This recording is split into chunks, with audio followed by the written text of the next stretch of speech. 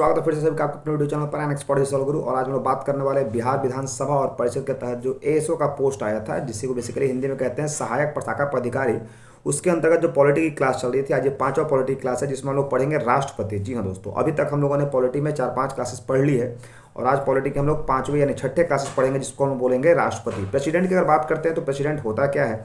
आज तमाम बातें देखेंगे, साथ ही साथ जो नीचे में आप लोग थंबनेल देख रहे हैं, जादुई ट्रिक से याद करने की कोशिश करेंगे। आज तक आपने जितने भी बार राष्ट्रपति पढ़ा होगा गारंटी है कि इस तरीके से नहीं पढ़ा होगा 120 परसेंट गारंटी मैं दूँगा। इसलिए कि पॉलिटी, जब भी मैं बच्चों को पढ़ाता हूँ ऑफलाइन क्लास हो या ऑनलाइन क्लास हो तो ज़ाहिर सी बात मैं मैंने उन्हें, मैं उन्हें आर्टिकल के बीच में उलझाता नहीं हूँ। आमतौर पर जो भी फैकल्टी केवल पॉलिटी पढ़ाते हैं तो सिर्फ़ और सिर्फ़ आर्टिकल में बच्चों को उलझा देते हैं आर्टिकल रटवा देते हैं। आर्टिकल रटा नहीं जाता है। आर्टिकल अगर रटिएगा तो भूल जाइएगा, इसलिए आर्टिकल को किसी न किसी लॉजिक से बेस्ड कर दिया जाता है, जोड़ दिया जाता है तब जा करके वो आर्टिकल हमें हमेशा याद रखेगा। क्योंकि एग्ज़ाम में अक्सर आर्टिकल से एग्जामिनर जो है, वो हमें टारगेट करता है, क्योंकि पता है कि बच्चे इसे याद करेंगे और याद किया हुआ चीज़ जो होता है, वो अक्सर लोग भूल जाया करते हैं। इसलिए जो है, वो आर्टिकल बेस्ड जो है, वो क्वेश्चन पूछता है। ठीक है? चलिए, वीडियो को शुरू करने से पहले जो नए व्यवस्था चैनल को देख रहे हैं, उनको बताना चाहता हूँ कि इस चैनल पर आपको बिहार विधानसभा और परिषद के तहत जो ए पोस्ट है उसके लिए फ्री यूट्यूब बैच पढ़ा लाया जा रहा है। जिसमें आपको कंटेंट वही मिलेगा जो मैं ऑफलाइन क्लास में देता हूँ। और बेसिकली जो है, आज का जो चैप्टर है, वो राष्ट्रपति होने वाला है। इसलिए वैसे बच्चे जो इसका फॉर्म भरे हैं और तैयारी कर रहे हैं, बिल्कुल सही प्लेटफॉर्म पर हैं, हमारे चैनल को सब्सक्राइब करके बेल आइकन हिट कर लीजिए, ताकि सारा को नोटिफिकेशन एसओ के बारे में मिलते रहे। साथ ही साथ इस चैनल पर आपको नई वैकेंसी का सबसे पहले अपडेट भी देखने को मिलता है। इसलिए इस चैनल को अपने दोस्त भाई बहनों को भी शेयर कर दीजिएगा, जो किसी एग्ज़ाम की तैयारी कर रहे हैं। ठीक है? यहाँ तो कोई दिक्कत? आई थिंक समझ में आ गया होगा। अब चलते हैं राष्ट्रपति। तो राष्ट्रपति का जो मैंने पीपीटी बनाया थोड़ा सा वो आपको दिखा देता हूँ। क्या कुछ पीपीटी रहने वाला है? सबसे पहले तो पीपीटी देख लीजिए। आज बेसिकली इस पीपीटी में दो चैप्टर मैंने रखा है प्रेसिडेंट और वाइस प्रेसिडेंट लेकिन मैंने से बेसिकली आपको पढ़ाऊँगा केवल राष्ट्रपति। राष्ट्रपति होता क्या है? तो सबसे पहले इसके बारे में तीन चार बातें आपको जाननी होंगी। राष्ट्रपति संविधान का संरक्षक होता है। यानी संविधान के विरुद्ध कोई भी कार्य करेगा, व्यक्ति हो, पद हो तो वो संविधान में उसे राष्ट्रपति रोकने का काम करता है। ठीक है? दूसरा ये होता है कि राष्ट्रपति को हमारे भारत का प्रथम नागरिक कहा जाता है, यानी भारत देश में सबसे पहला जो नागरिकता दी जाती है, वो हमारे राष्ट्रपति को दी जाती है।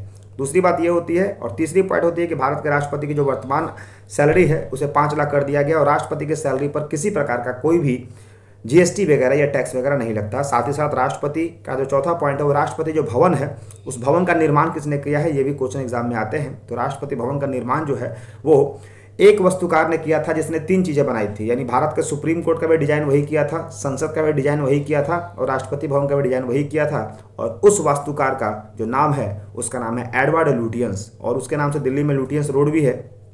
आप लोगों ने गौर किया है। तो एडवर्ड लुटियंस जो राष्ट्रपति भवन का वास्तुकार माना जाता है।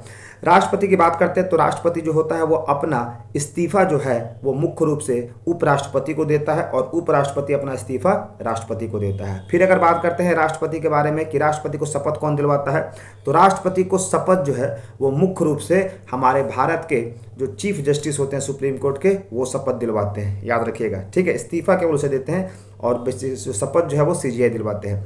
साथ ही साथ अगर बात करते हैं कि राष्ट्रपति को संविधान के किस भाग में रखते हैं तो ये संघ के हिस्सा होते हैं, इसलिए इन्हें भाग पाँच में रखते हैं, और अनुच्छेद कहाँ से कहाँ तक रखते हैं तो बावन से बासठ तक रखते हैं। बावन से बासठ तक रखा जाता है। तो ये तो आपका बेसिक डिटेल अब थोड़ा सा बात करते हैं कि राष्ट्रपति भवन तो आप लोग देख लिए, ये राष्ट्रपति भवन है, जो आमतौर पर राष्ट्रपति को फ्री ऑफ़ कॉस्ट दी जाती है, इसके लिए उन्हें कोई भी पैसे या चीज़ें नहीं काटी जाती हैं। बात करते हैं प्रेसिडेंट जो होते हैं राष्ट्रपति, वो भाग पाँच में आते हैं और बेसिकली संघ जो है वो बावन से एक सौ इक्यावन तक आता है। लेकिन एग्जीक्यूटिव पावर जो होती है राष्ट्रपति का, वो बावन से अठहत्तर तक बीच में होता है। वो क्या क्या होगा, देखेंगे। सबसे पहले होता है क्या? The president executive head of the country होता है। एग्जीक्यूटिव हेड का मतलब क्या होता है कि जब तक राष्ट्रपति किसी भी बिल पर साइन नहीं करेगा, वो कानून नहीं बनेगा। आमतौर पर संसद में जो भी पहले चीज़ें लाई जाती है, वो बिल के रूप में होता है, यानी कच्चा रूप होता है। जैसे ही राष्ट्रपति उस पर साइन कर देता है तो वो हमारे कानून बन जाती है और उसी कानून को साइन करने की जो शक्ति होती है, उसे एग्जीक्यूटिव पावर कहते हैं। आर्टिकल तिरपन में एग्जीक्यूटिव पावर दिया जाता है कि भैया राष्ट्रपति जो होंगे वो एग्जीक्यूटिव बोर्ड होंगे। इनका फिक्स टेन्यूर पाँच साल का होता है, राष्ट्रपति का सभी को जानते हैं। और वर्तमान में रामनाथ कोविंद को रिप्लेस करके जो राष्ट्रपति हमारे बने हैं वो कौन है? द्रौपदी मुर्मू, जो कि हमारे देश के कितने नंबर के राष्ट्रपति हैं? आप बताइएगा चौदहवें या पंद्रहवें, मैं आपको ऑप्शन दे दिया हूँ। ठीक है? नेक्स्ट बात करते हैं। The president of India is ceremonially head of the state जैसे कि पूरे भारत का ये महामहिम माना जाते हैं, और हमारे इंडियन एयरफोर्स और नेवी तीनों हमारे फोर्सेज जो होते हैं, सभी का चीफ को हम लोग राष्ट्रपति का अधीन रखते हैं। यानी ये आर्मी एयरफोर्स और नेवी जो तीनों के मुखिया होंगे, वो राष्ट्रपति के अंतर्गत कार्य करेंगे, जब देश हमारे खतरे में होगा। उसके अगर बात करते हैं राष्ट्रपति की शक्तियाँ क्या क्या होती हैं, ये देख लीजिएगा। तो राष्ट्रपति की शक्तियाँ एग्जीक्यूटिव पावर देख ही लिए साइन करने की शक्ति होती है लेजिस्लेटिव पावर राष्ट्रपति चाहे तो कोई कानून बनवा सकता है तो वो आर्टिकल अठहत्तर और छियासी में होता है। इमरजेंसी पावर राष्ट्रपति चाहे तो आपातकालीन लागू करवा सकता है, और तीन तरह की इमरजेंसी होती है आर्टिकल तीन बावन, तीन छप्पन, तीन साठ। ऑर्डिनेंस पावर की बात करते हैं तो ये अध्यादेश होता है, ये कब होता है? तो संसद हमारे साल भर में नौ महीना काम करती है और तीन महीने आराम करती है, और जब वो संसद हमारे सत्र में नहीं होता, यानी छुट्टी में सारे सांसद होते हैं तो उससे उस समय देश के लिए कानून बनाने का अधिकार जो होता है, वो राष्ट्रपति के अंतर्गत होता है, और उसे हम बोलते हैं ऑर्डिनेंस पावर जो कि आर्टिकल वन टू थ्री होती है। उसके बाद होता है मिलिट्री पावर सैन्य शक्ति हमारे राष्ट्रपति के पास ही होती है। डिप्लोमेटिक पावर ये आमतौर पर राष्ट्रपति के पास तो होती है, लेकिन राष्ट्रपति जो है, इस डिप्लोमेटिक पावर का मुख्य रूप से इस्तेमाल नहीं करता है। क्योंकि ये डिप्लोमेटिक पावर होती है, ये बेसिकली कूटनीति होती है। आमतौर पर जब एक देश से दूसरे देश का संबंध बनता है, जैसे कि हमारे नरेंद्र मोदी जो होते हैं, वो देखें, विदेश दौरे पर जाते हैं और विदेश में जाकर के कोई भी समझौता करते हैं, किसी दूसरे देश से कोई एग्रीमेंट करते हैं तो देखे होंगे कि उन दोनों के बीच में एक फ़ाइल एक्सचेंज होती है और फ़ाइल जो एक्सचेंज होता है, उसमें राष्ट्रपति का साइन होता है, यानी कोई भी हमारे भारत देश का जो होता है, वो समझौता किसी दूसरे देश से राष्ट्रपति के बिहार पर ही किया जाएगा और इसे ही कहते हैं डिप्लोमेटिक पावर इसके तहत राष्ट्रपति भी विदेश का दौरा करते हैं। उसके बाद जुडिशियल पावर की बात होती है तो राष्ट्रपति में न्यायिक पावर क्या होती है? तो राष्ट्रपति दो तीन तरह से न्यायिक पावर इस्तेमाल करता है। एक तो वो हमारे देश में कोई भी न्यायिक मुद्दों पर हमारे देश के सुप्रीम कोर्ट के चीफ जस्टिस को बुला सकता है और उनसे सलाह ले सकता है। साथ ही साथ न्यायिक की बात करते हैं तो राष्ट्रपति अगर चाहे तो किसी भी इंसान को, अगर जिसको फांसी की सजा हुई है, उसको उम्र कैद में बदलने की शक्ति रखता है, जिसे हम लोग बोलते हैं pardon power article seventy financial power की बात करते हैं तो फाइनेंशियल पावर में राष्ट्रपति बजट को सबसे पहले सुनता है और उसके बाद ही वो बजट जो है वो पूरे विश्व या फिर पूरे राज्य के और पूरे देश के लिए बताई जाती है। और बजट को हम लोग संविधान में कहते हैं A F S annual financial statement और आर्टिकल होता है 112 हिंदी में बोलते हैं वार्षिक वित्तीय विवरण। उसके बाद प्रेसिडेंट की ड्यूटी क्या होती है? क्या कार्य होते हैं प्रेसिडेंट का? The primary duty of president to preserve the protect the defend the constitution and the law of the India simple सी बात है, राष्ट्रपति होता है वो संविधान का संरक्षक माना जाता है। ये एक तरह से कटप्पा होता है संविधान का, जो कि संविधान को बचा के रखता है कि कोई भी इंसान संविधान के बाहर जाकर काम ना करे। चूँकि संविधान के बाहर जाएगा तो भारत जो है वो लोकतांत्रिक देश के कैटेगरी से हटा दिया जाएगा। योग्यता की बात करते हैं तो राष्ट्रपति बनने की न्यूनतम आयु क्या होती है? तो राष्ट्रपति बनने के लिए न्यूनतम आयु 35 वर्ष और बुढ़ापा तक राष्ट्रपति बन सकते हैं। यानी जब तक आपके जान में जान है, तब तक राष्ट्रपति आप बन सकते हैं।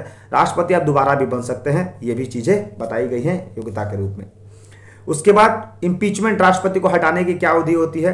तो इम्पीचमेंट हटाने के लिए राष्ट्रपति राष्ट्रपति अगर सही रूप से कार्य ना करे, मान लो कि रक्षा के भक्षक बन जाए या फिर राष्ट्रपति संविधान के विरुद्ध जाकर कोई कार्य करना शुरू कर दे तो उसे हटाने के लिए उस पर महाभियोग लगाते हैं और महाभियोग जो होता है वो किसी भी सदन में आ सकता है।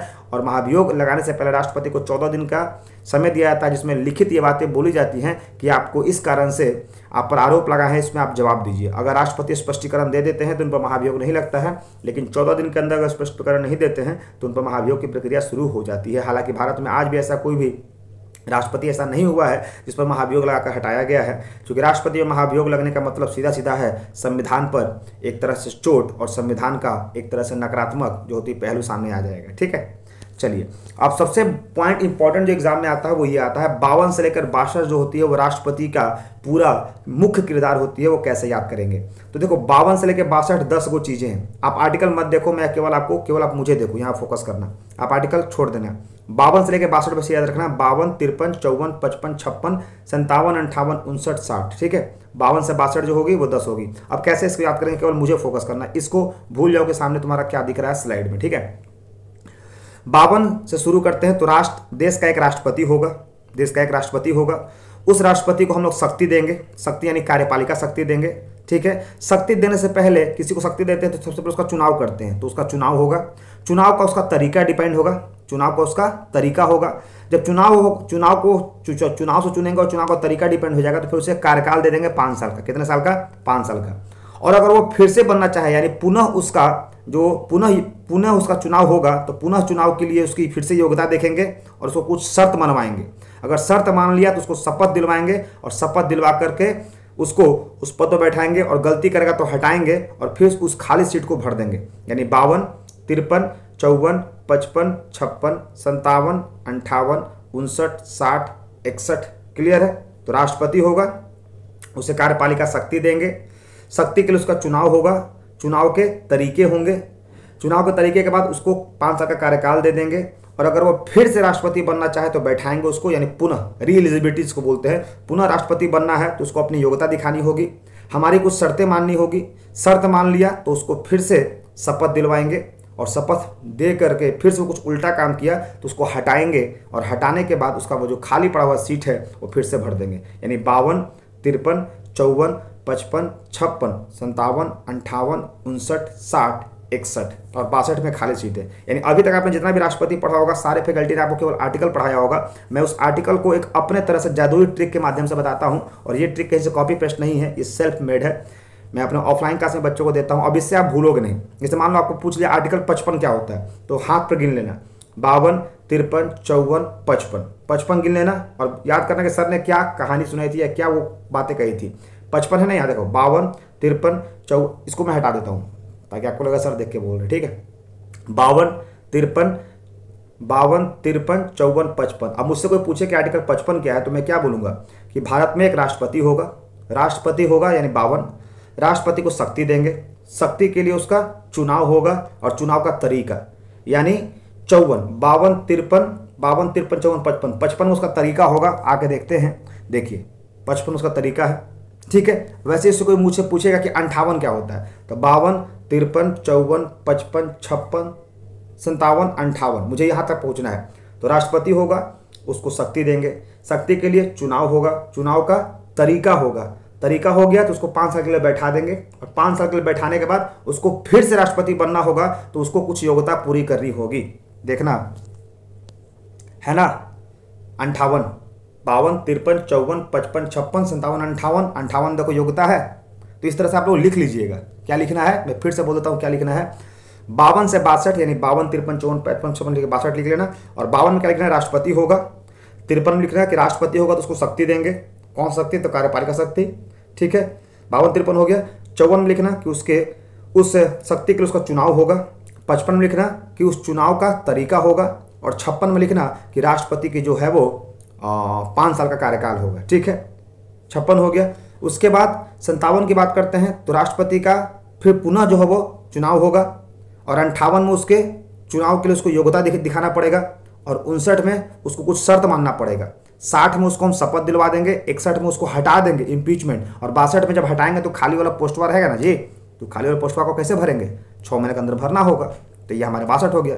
तो इस तरीके से आपका जादुई ट्रिक से मैंने राष्ट्रपति पढ़ाया। इससे पहले आप लोगों ने अगर इतना बेहतरीन कहीं पढ़ा होगा, हालाँकि मुझे उम्मीद है कि नहीं पढ़ा होगा, क्योंकि सभी लोग कॉपी पेस्ट करते हैं केवल, लेकिन चूँकि मेरा मास्टर डिग्री पॉलिटिकल साइंस से ही हुआ है और मैंने इन चीज़ों को घोल करके पिया हुआ है, इसलिए आप लोग को इस तरीके से बताता हूँ कि पॉलिटी में इंटरेस्ट हो जाए। और पॉलिटिक ऐसा सब्जेक्ट है जो आपको सुबह पेपर से लेकर रात के सोने तक चाय पर चर्चा होती है, इसलिए पॉलिटी से ही निकलता है पॉलिटिक्स और अगर पॉलिटिक्स को समझना होगा तो उससे पहले आपको पॉलिटी को समझना होगा। कहते हैं ना कि दौड़ने से पहले चलना सीखना होता है तो पॉलिटी आपको चलना सिखाता है, और अगर ये चलना सीख गए तो फिर आप पॉलिटिक्स में दौड़ना आराम से सीख जाइएगा। तो इस तरह से आपका ये प्रेसिडेंट की तमाम बातें रही, बावन से लेकर बासठ। आई होप आपको ये क्लास अच्छा लगा होगा। अगर क्लास अच्छा लगा तो कमेंट में ज़रूर बताइएगा कि आपको ये वीडियो कैसा लगा, और आपको पॉलिटी जो राष्ट्रपति ने आपने चैप्टर पढ़ा है, क्या इससे बेहतरीन आपने कहीं पढ़ा था? अगर पढ़ा था और हमसे अच्छा पढ़ा है तो वो भी बताइएगा, ठीक है? साथ ही साथ वीडियो अपने दोस्तों को भी शेयर कर दीजिएगा, जो इससे पहले एसओ का फॉर्म भरे हैं और कहीं ना कहीं फ्री यूट्यूब बैच की तलाश कर रहे हैं। ठीक है दोस्तों? जय हिंद, जय Bharat take care that's all thank you